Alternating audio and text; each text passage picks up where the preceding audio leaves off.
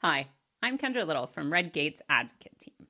And in this video, I'm going to show you how you can dynamically set up an environment, possibly a QA environment, but it could be any environment you want to use for testing in Azure DevOps with Redgate's SQL clone and SQL change automation. So, a little bit about my setup first. I'm just in a VM on my machine, and I am using Azure DevOps Services. You can do very similar things with Azure DevOps Server, the product previously known as TFS. And uh, what I've got set up is I have Redgate's SQL clone set up here. I'll be doing a demo with an image of the Stack Overflow database here. And I've got a Stack Overflow database that I've created an image with. This is the Stack Overflow 2010.bak file that you can download for free on the internet. The kind folks at Stack Overflow, they share data dumps of their database, and Brent Ozar has set up the ability to grab backups for those. I think it's really fun for testing. I have a copy of the 2010 version, which is just under nine gigabytes. And right now I just have one clone created for that. The name of my image here is Stack Overflow itself, and I do work in the derp domain under the name Kendar on my test. Now, in Azure DevOps, when you're setting this up in Azure DevOps, Redgate, we have extensions for SQL clone so that you can use plugins for this to configure this in a graphic way that's really easy. And when you install the plugin for this, we also have a plugin for SQL change automation, by the way. When you install the plugin for clone, it, it helps you figure out how do you set this up. You create a SQL clone service endpoint. And I'll just show you where that is in Azure DevOps here under pipelines in your settings. I'm in the project settings here. Uh, we have service connections here. And after you install this, I think it's technically called an extension, not a plugin. After you install the extension, if you say, hey, I want to do a new service connection here, when you look at your options for types of service connections, you have a type that is SQL clone server, and it helps you set things up so that when I run uh, op- operations on my build server or my deployment server, um, I can actually tell it, okay, here's where SQL clone is and how you can talk to it. So that's just a little quick thing. There's more about the setup in the extension setup itself. So I've got that extension or plugin, whatever you want to call it, installed, uh, as well as the SQL change automation plugin. So let's take a look at my pipelines. I've got here under pipelines, I have a continuous integration uh, pipeline set up here. And then here under, let's make our text a little bigger. So right now I'm just under the uh, pipelines. I've got my continuous integration there. Under releases, I've got a couple different release pipelines. I've got one that I use for pull request automation, but in this one, we're going to look at a uh, release pipeline here. Now, I showed this in a previous video, but we'll just take a quick look here. If I look at my pipeline and I look at my trigger here, I've got a continuous deployment trigger here, and I have this one set up to say include any branches under the releases folder there. So releases slash star is there. So it'll say, I'm going to create a release every time a new build is available. And I'm going to look under that releases branch. So I'm going to go now into my repo here. We'll look back a little later to dig in more to what that means. I'm going to go into my branches. And under releases here, you know, I've got a couple of these already. But let's say I've made some code changes since these. These are past releases I've done. And now I want to create a new release. Well, I'm branching off of master. So I want to do, I'm, I'm right there on master. I clicked the dot, dot, dot, and I'm new in a new branch, doing a new branch. And I'm going to do this releases. We'll call this sprint 0003, right?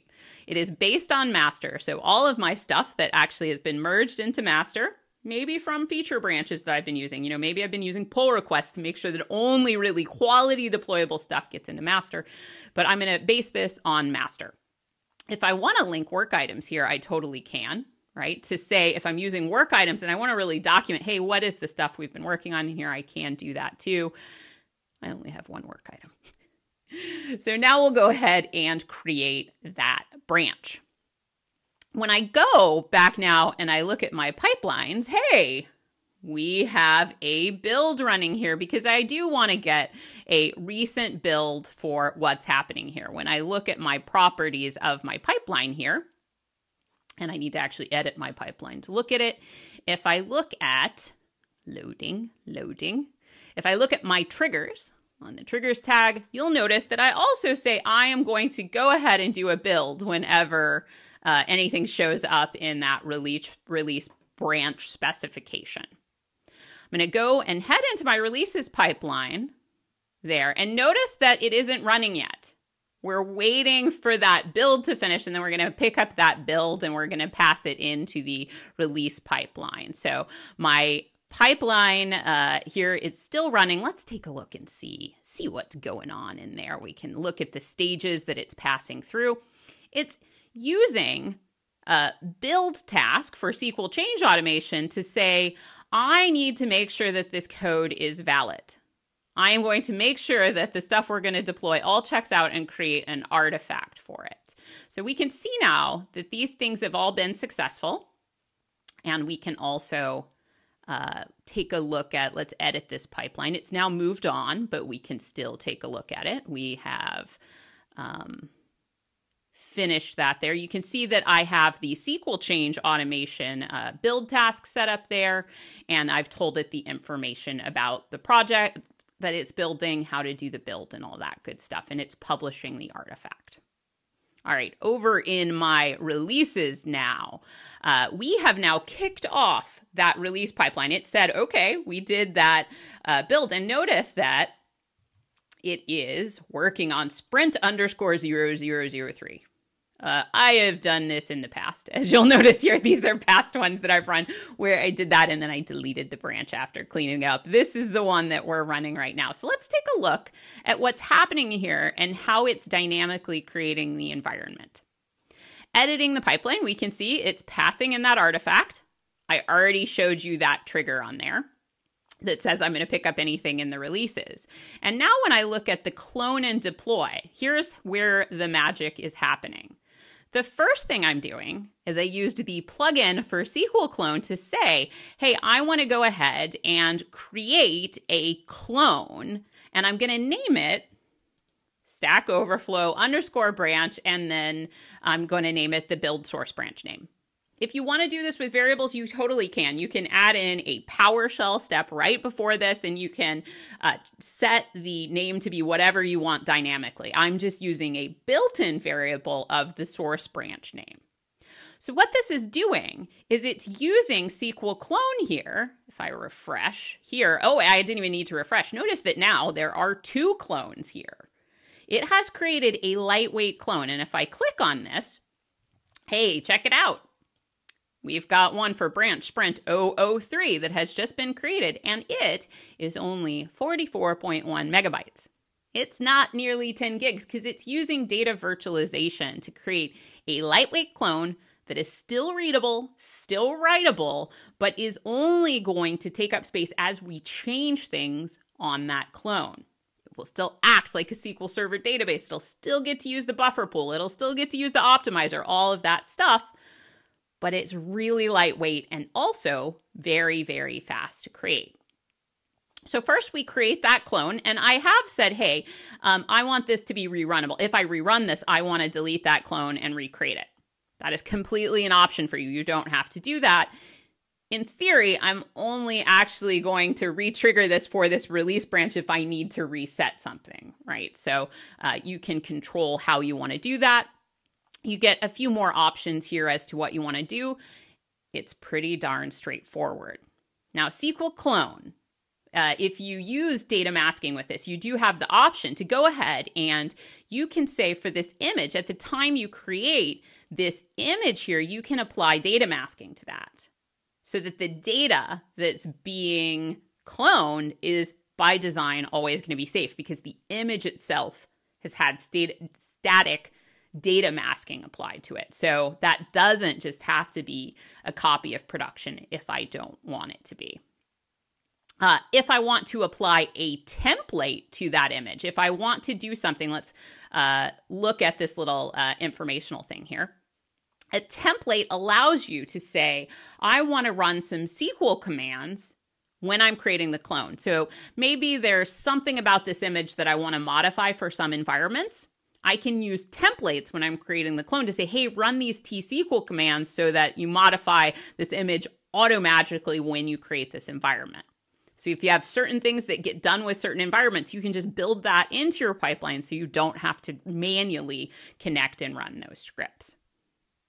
My next step is to say, I want to create a release artifact against that clone environment. So I now am using the Redgate SQL Change Automation release plugin to say that I want to go ahead and export this release artifact on the, the build server where I'm running this. I'm going to go ahead and delete files in the export folder. I'm using a lot of the defaults here. I don't have any filters I'm using. There may be times you want to use a filter. So that can be very, very handy. And I just tell it, hey, here's that database. Notice that I can still use that variable and say, um, okay, I named this on the build source branch name. I want to go ahead and use Windows auth and connect to it. And I am going to essentially, in this step, what the release artifact is doing is figuring out, okay, what are the commands that I need to deploy against this? This will work whether you're using a SQL change automation project or a SQL source control project. Works a little differently behind the scenes, but it creates that release artifact. And I love having these around. There may be some cases where you want to review them before you actually deploy them, right? But even if I am automatically deploying it, as I am here in the next step, I like having it around because I have a history of, okay, exactly what did we deploy and what does the code look like and what is a summary of it. I might want that later in my process, or I might just want it to refer to later. Now, in this next step here, I am deploying the release artifact uh, to my target database. So we can see here that I am deploying this to my target database. And that's all there is. Now, if you want to get fancier, you absolutely can. This is just the essentials. If you want to also deploy application components to that environment and have a whole working environment, you can add that in, right? This is uh, the base plugins for the database. But of course, the magic of pipelines is that we can do much more and combine both database and application level tasks in these pipelines. So let's take a look here at releases. We can see now that release 22 was successful there. And let's take a look over at our SQL server. I'm just going to open Management Studio here and let's take a look at that database that it created and deployed to there. In SQL Server Management Studio, uh, there we go, opening up. I just need to connect to the instance where I had that target database. So I happen to know that it's on beep beep dev if you have multiple environments you're deploying to, you'll want to have a, a, some automation that helps people understand, okay, here's where we deploy different releases to there. But mine is on this dev instance here. And we can see, hey, check it out. Stack Overflow underscore branch underscore sprint 003. I'm going to do a new query window there. And SQL prompt would like me to know that it has new features there. We'll take care of that in a little bit. But I can take a look at, I'm going to take a look at my migration log table there. And I'm going to order uh, my results by the, let's take a look at the sequence number column there. Now I did sequence number ascending. but if you ever want to check what has been deployed and what order was it deployed in, you can take actually see that in that migration log table. I can see here that my most recent deployments here are these changes because the project I'm deploying here is a migrations first approach with SQL change automation. I authored my changes in Management Studio in SQL change automation and then committed them to source you could might also be authoring your changes in SQL source control and then deploying them with SQL change automation as well. So this is a quick introduction to how you can dynamically set up. Let me bring back my pipeline here. You can dynamically set up the ability to create and deploy to environments in pipelines. And this is a great way to be able to quickly set up and say, okay, we're ready to create a release for this. We want to go ahead and create a fresh environment for this. And for some reason, I'm I'm not clicking on the stage right here. I want to actually show the tasks, but Azure DevOps doesn't seem to want to Um, is it is it possible to click wrong? so I'll go ahead and refresh my page there, and now I can see the tasks. Uh, these are your essential tasks for creating the environment with SQL provision using SQL clone, and then deploying the changes with SQL change automation. Thanks so much for joining me today for this quick video. I'm Kendra Little from the Advocate team at Redgate. Bye, folks.